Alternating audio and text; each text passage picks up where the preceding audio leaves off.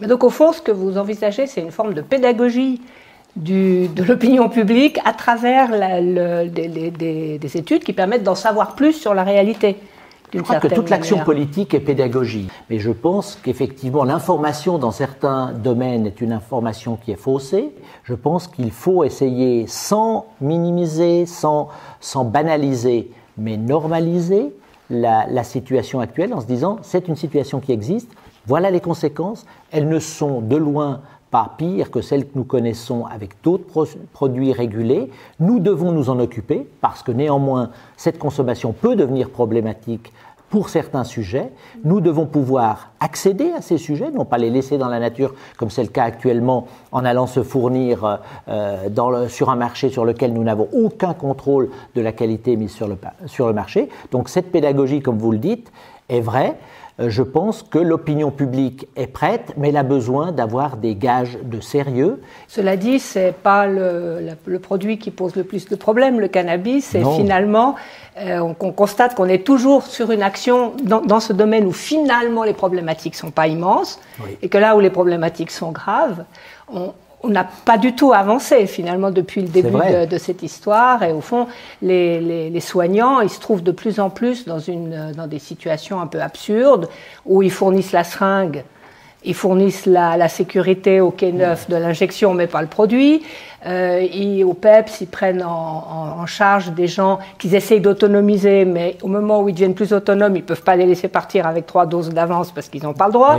Euh, on, bute quand même toujours sur des, des, contradictions peut-être toujours plus intenables au fond, au fur et à mesure que la situation se normalise. Qu'est-ce que vous leur dites à ces, à ces soignants?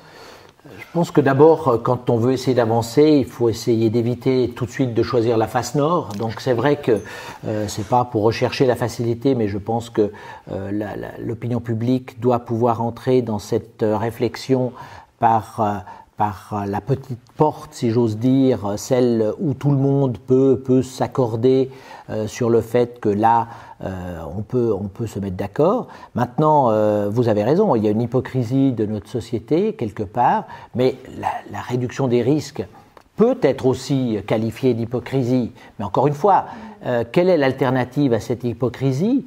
C'est l'insouciance et l'irresponsabilité. Donc je préfère une certaine, une certaine injonction contradictoire en disant vous n'avez pas le droit, mais si vous le faites, faites-le au moins à un endroit où nous contrôlons ce que vous faites, parce que si ça se passe mal, on peut intervenir. Je préfère encore ce discours, même s'il ne me satisfait pas pleinement, plutôt que celui, puisque c'est interdit, faites-le ailleurs, euh, dans des caves, dans des allées, avec les, les conséquences dramatiques que l'on a connues aussi. Mmh. Je disais qu'on dit que l'hypocrisie est un hommage que le vice rend à la vertu, donc ça, ça va.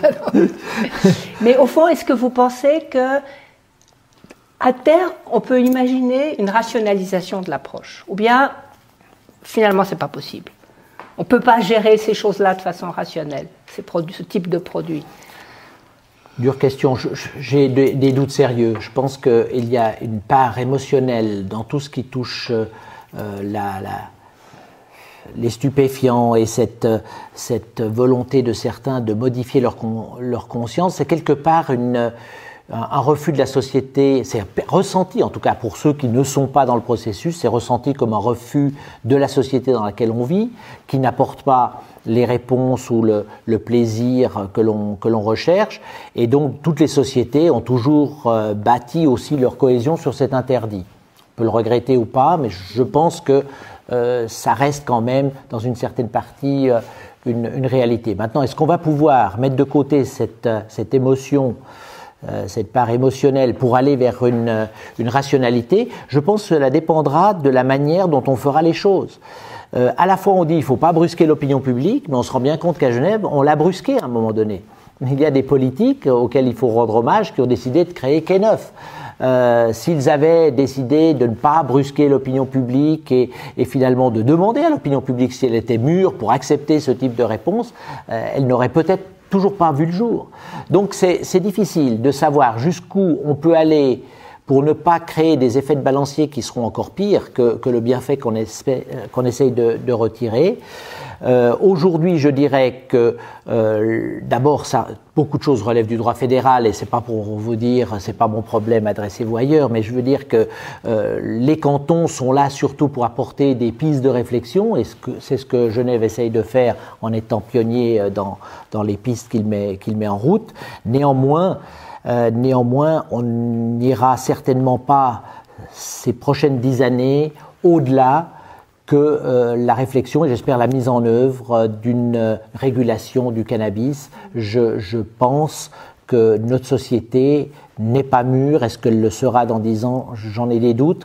Et en fait, à l'inverse, on pourrait se, se demander si ce, cette structure de l'interdit permis, c'est-à-dire au fond ce, jeu entre une règle qu'on accepte et puis des exceptions qui permettent finalement au moins de limiter ces effets pervers, est-ce que c'est un, un mode d'action dont on peut imaginer qui peut s'appliquer à d'autres problèmes sociétaux? Est-ce qu'au fond, euh, je pense notamment à la gestion des, des, étrangers en situation irrégulière, par mmh. exemple, où on trouve aussi des, des, des situations où il y a une part d'hypocrisie, bah, moins oui. à Genève avec l'opération. Papyrus, mais mmh. disons jusque-là en tout cas. Est-ce que finalement, c'est pas un mode inévitable de la politique dans un monde imparfait? Vaste sujet que vous, vous abordez là. Quel, quel, est le rôle de nos lois finalement mmh. hein? Est-ce que nos lois sont, sont finalement que l'expression d'une majorité à un moment photographique? Or, la vie est un film, donc forcément, une loi déjà, quand elle est adoptée, elle est souvent déjà dépassée, même s'il y a des lois qui sont avant-gardistes et qui anticipent l'évolution de l'opinion publique. Elles ne sont pas nombreuses, elles sont moins nombreuses en tout cas que celles qui, cristallisent euh, à un moment donné ce que tout le monde s'accorde à, considérer comme devoir être. Je pense que euh, la politique interdit-permis est, celle qui, tient aussi nos sociétés. Je ne conçois pas de société euh, qui n'est pas d'interdit, euh, sinon c'est l'anarchie. Je pense que euh, c'est tout le rôle du politique d'avoir cette sensibilité pour essayer de faire évoluer et progresser cette frontière entre ce qui est permis et ce qui est interdit, tout en garantissant une cohésion sociale qui soit épanouissante pour la société et non pas liberticide.